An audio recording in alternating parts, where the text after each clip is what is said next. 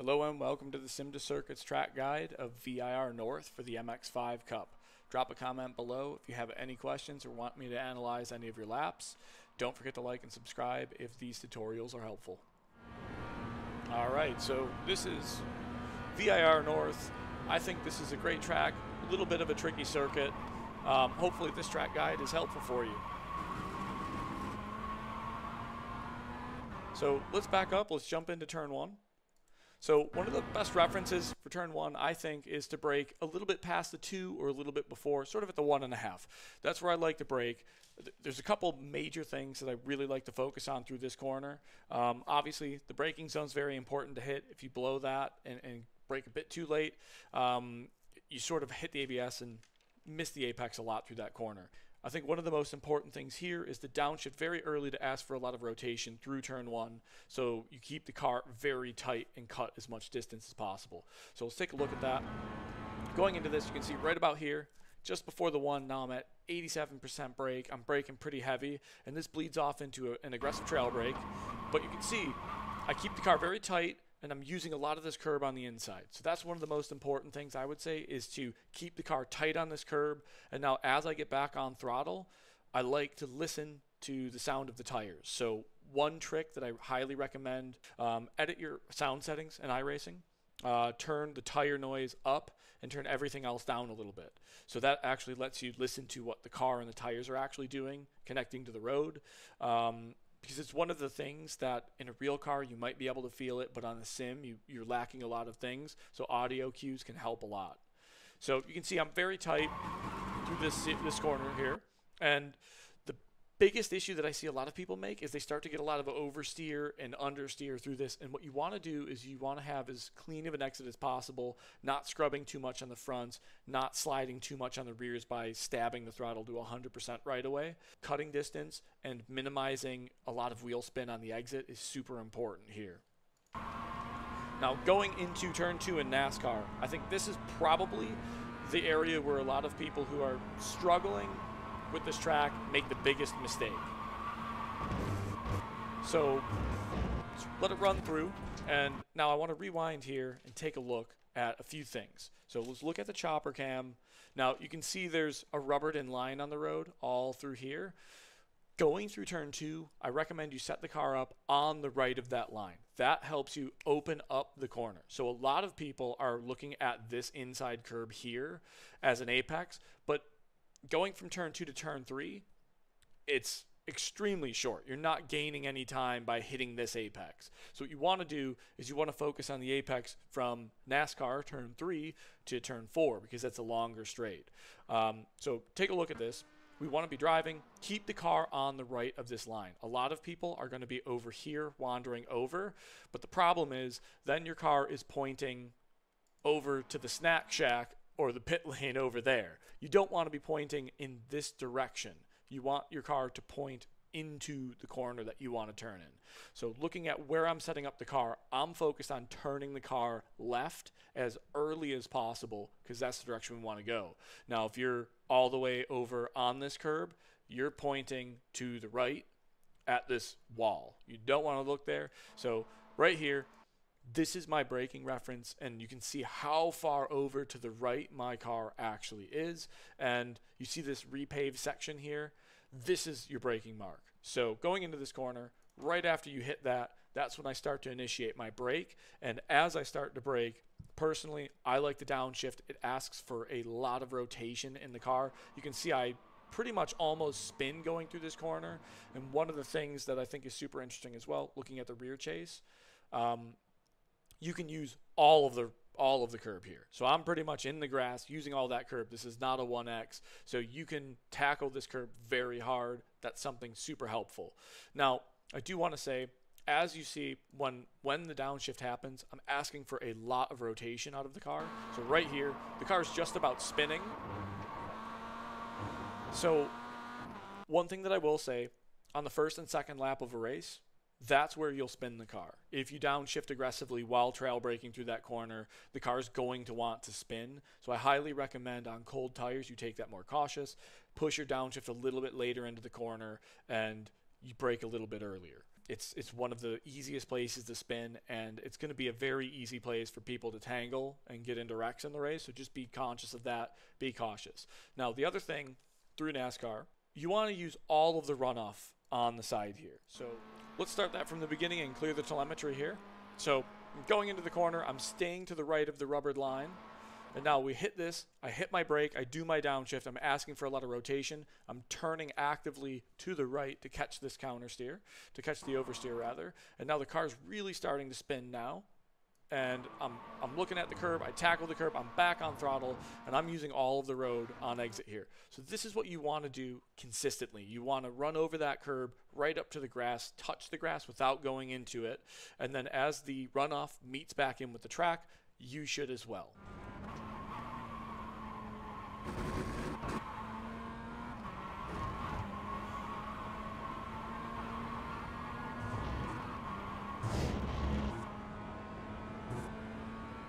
Okay, now that we've talked about NASCAR, this is going into left hook through snake. So this series of corners, there's a lot to talk about. So I think one of the best things right now you can see I'm actually using third gear. Um, with a really good run out of NASCAR, it does make sense to use third gear here. In a race, I might recommend using second gear uh, for a few reasons. One, it's going to help you not blow your braking zone. And two, if you're in traffic following someone, it's going to make sure that you don't miss your braking marker and rear end somebody. So it might just be a little bit safer to hit the limiter in second. It's barely any slower. It gives you a really perfect reference point for when you need to brake and when you need to get your turn initiated. Um, this left curb here, you can use all of the curb. So I want to look at the rear chase using this curb because I am using pretty much all of the curb and the grass, and this did not count as a 1x on this lap. So you can use all of this curb, and this was at first when I ran VIR the biggest place where I was losing time to the top guys in split one was my lack of using the curbs. I was very cautious, didn't want to get one X's, didn't want to get slow down penalties, and for whatever reason, VIR is super lenient on curb usage. So just be aware of that. You're going to want to use a lot of curb because this is going to help you set yourself up to use as much of the road on the left as possible, and it's going to help you get back on throttle sooner so you can be flat all the way from this next corner down to uphill. So here, I'm a bit progressive, so you can see I didn't just stomp right back into the gas. I wanted to get the car back to the left as much as I can because as soon as I go through this corner, I want to be flat. So here, I do tackle this inside curb a little bit. Um, on a lot of laps, I do avoid that, and during a race, as the tires start to get warmer, um, and I want to be consistent rather than going for an absolute 100% kill lap. A lot of times I'll avoid hitting that curb so I don't bounce awkwardly and then wash off to the left. Now, it's also very important to utilize all of the track as best of your ability on the left here. So you can see I let the car walk out to the left more. One of the biggest mistakes I see is people setting their car up very far over on the right here, which makes this super tight. Then they have to use too much of this curb, they bounce, and they have to lift. So right now, the goal is to be 100% flat and listen to your tires, minimize the scrub on the tires through this series of corners, and this will allow you to carry as much speed exiting this down to uphill as possible. So looking at the rear chase, I use as much of this road as I realistically can. There's a tiny bit more that I could have used, but one thing to keep in mind, you can see this curb actually falls off and cambers off. If you end up touching that, what happens is it sucks you down that curb off into the grass. You get your off track, you lose a lot of time. So that's why it can be a little bit tough to actually use the white curbing. You want to get as close to it as possible, as consistently as you can. Um, and again, taking a look at this from the chopper cam, you can see where my car is. It's pointed very much to the right. It's using most of the track here. And it's allowing me to stay flat with without having to compromise my line through this corner. So I don't want to use a huge amount of this inside curb and I don't want to use a, huge amount of this exit curb for a couple of reasons. So right now you can see I'm at 80 miles an hour, which is the top of second gear. And when you hit this curb, at the top of the gear, sometimes if you get too much bounce, you'll get wheel spin when the tire leaves the ground. You'll hit the limiter and you'll, you'll lose several hundredths on exit. So, minimizing jumping these curbs by having a proper line through the last corner is ideal. So, again, looking at that, tackle this curb as much as you can, get over to the left so you can be flat through this, use all of that road on the left, tap this curb a little bit, but make sure you don't jump it too hard. You can use this curb here on the left just to cut distance, and now it's all the way, running all the way down to uphill.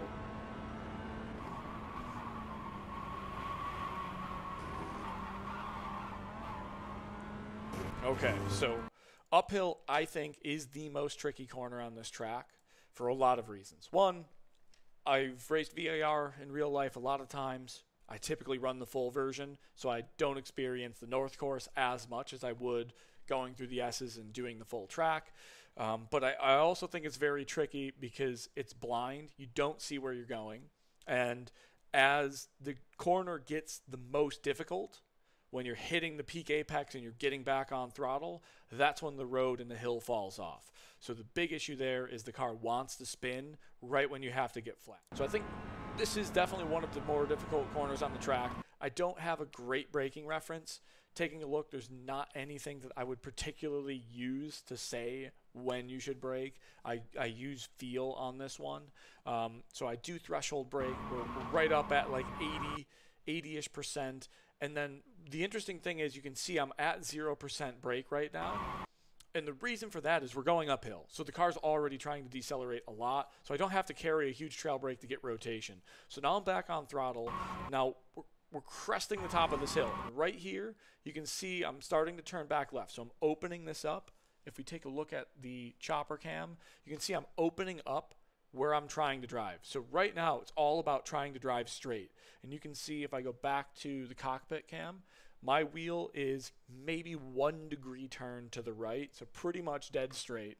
And I'm trying to point towards those cones. The reason for that is if we go back to any of these cameras here, let's go back into the cockpit.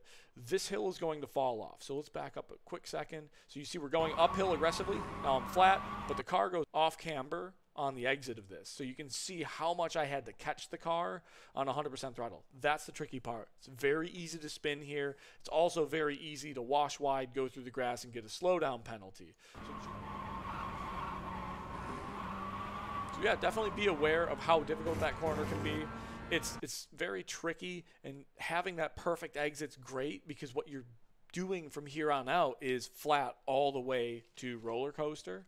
So having a good exit there carries through this whole sequence of corners all the way to roller coaster. So that's definitely very important.